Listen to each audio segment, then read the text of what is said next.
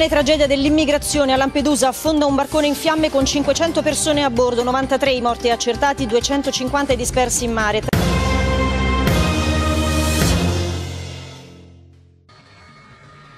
I primi ad accorgersi delle catombe sono i pescatori, sentono delle grida, sono le 4 del mattino, decine di corpi galleggiano in mare, Lampedusa è vicina, appena mezzo miglio dalla spiaggia dell'isola dei Conigli, sono gli scogli della Tabaccara. Qui il mare è profondo decine di metri, ci sono i vivi che annaspano e ci sono i morti, tanti, in un piccolo tratto di mare che si trasforma in un cimitero.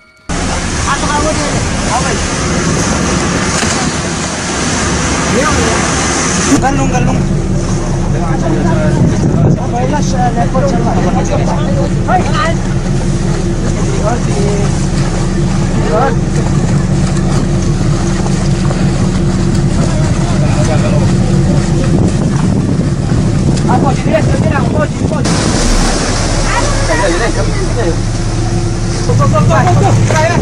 Lascia, lascia!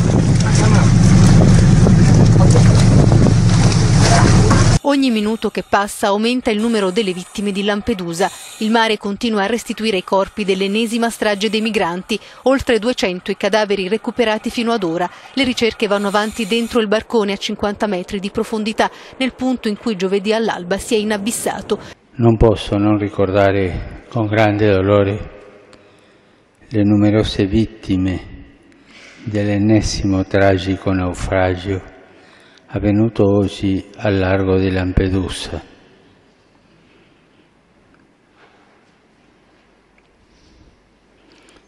Mi viene la parola vergogna.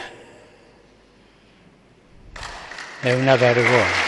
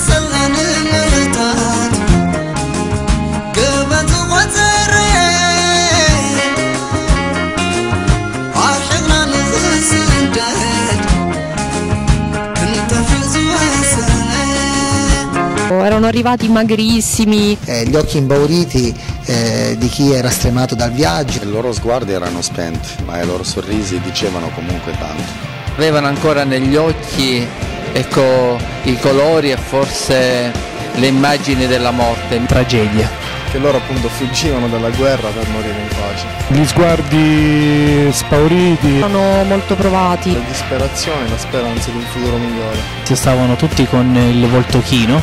È bastato un pallone per far tornare il sorriso. Spiazzati, che erano un po' confusi. E a colpa generale questa nostra società deve, lo deve fare. Erano molto intimiditi. Un momento di affetto sia loro per noi e noi eh, per loro. Grandissima solidarietà da parte della gente di Caltagirone. Loro hanno aiutato me a studiare. Abbiamo un po' esplorato la musica. Le lunghe notti trascorse con loro. Il cambiamento, eh, soprattutto del loro sguardo. Hanno imparato alcune cose nuove sulla lingua italiana. Tranquilli, più sereni. Eh, un piacere è stato poi accompagnarli alla biblioteca comunale. Il piccolo che c'era e non stava male, aveva bisogno però solamente di essere coccolato. Siamo riusciti a costruire uno strumento tipico eritreo. È stato un piacere portare i ragazzi uh, in giro per Caltagirone. È riuscita a contattare la madre la madre non ci credeva che era lui perché gli sembrava morto dopo tutto quello che aveva vissuto, non riusciva a riconoscere, dopo un'ora erano al telefono, stati al telefono. Condivisione. Sono stati per me come dei fratelli. I nostri fratelli. La preghiera che eh, abbiamo fatto per la prima volta con loro nella cappellina. Erano molto religiosi e ci tenevano moltissimo alla, alla loro chiesetta. Disegnato la sua casa che i suoi, i suoi genitori avevano venduto per potergli pagare il, il, il viaggio. Non possiamo coltivare l'indifferenza. Ragazzi fantastici. La sera quando sono arrivati sono seduti su queste sedie che abbiamo preparato per loro. È molto bello sentirli. Non hanno mai perso la vitalità e la giocosità. Fino ad oggi abbiamo parlato via Facebook. Un'esperienza uh, unica e particolare. Ci siamo sentiti tutti un po' più grandi, anche grazie a loro. Non li dimenticherò mai. Auguro che, eh, di poterli rincontrare. Spero che la loro vita sia migliore. Auguro che oggi possano avere le immagini della vita. Vi auguro buona fortuna. E un, un saluto d'amore. Ciao Bereghette, ciao Filmon e ciao Coro. Ciao.